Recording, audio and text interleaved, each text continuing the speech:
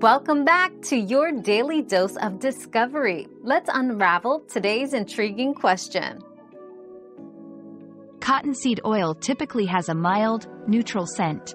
However, its aroma can vary slightly depending on the refinement process it undergoes.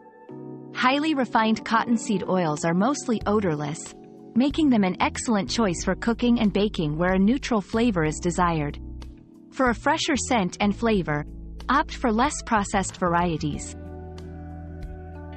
Another mystery solved, but many more await. Keep up with our daily discoveries by subscribing and turning on notifications.